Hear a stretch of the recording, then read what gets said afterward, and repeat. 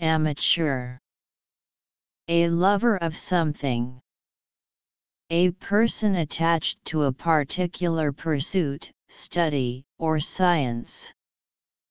As to music or painting, especially one who cultivates any study or art, from taste or attachment, without pursuing it professionally.